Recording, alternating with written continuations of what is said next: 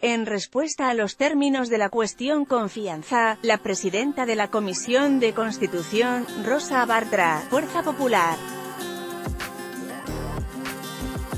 dijo que el jefe del gabinete ministerial, Salvador del Solar, haría muy bien en ponerse 15 días de plazo, para solucionar los principales problemas del país.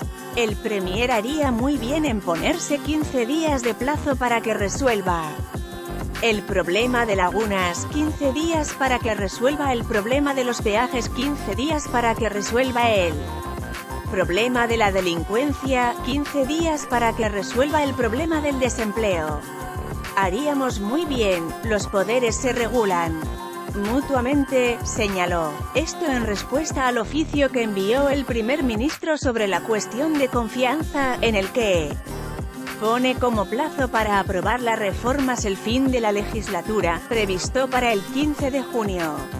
Además del Solar advierte que el Ejecutivo consideraría la confianza rechazada si no se cumple la fecha. Hasta el momento, el presidente del Congreso, Daniel Salaverry, todavía no ha confirmado una ampliación de la legislatura. En diálogo con los periodistas, la parlamentaria Fujimorista señaló que esperará la presentación de Salvador del Solar ante el Pleno este martes 4 de junio, donde sustentará la cuestión de confianza planteada por el Ejecutivo, para decidir su voto. Espero que cuando el Salvador del Solar, la presente, la arregle, de acuerdo a la Constitución. Tengo que esperar a que se presente para determinar mi voto. En la anterior cuestión de confianza que pidió el Premier, César Villanueva yo voté en rojo.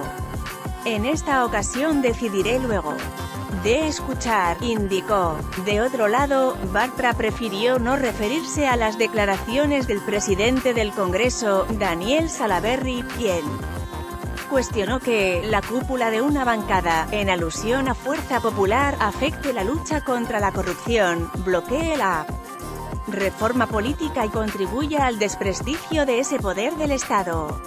Hace mucho tiempo que a las expresiones del presidente del Congreso no le hago comentario.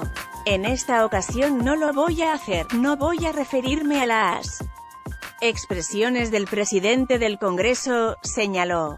No obstante, la legisladora señaló que Salaverry y todos los presidentes de las comisiones del Congreso tienen voto discrecional, es decir, pueden hacer uso de él cada vez que lo consideren necesario.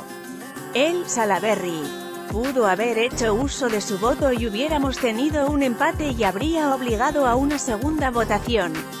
El presidente perfectamente pudo haber cambiado la situación, no lo hizo, no votó.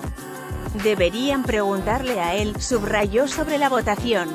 En la comisión permanente que archivó la destitución e inhabilitación de Pedro Chavarri. Let's block this, why?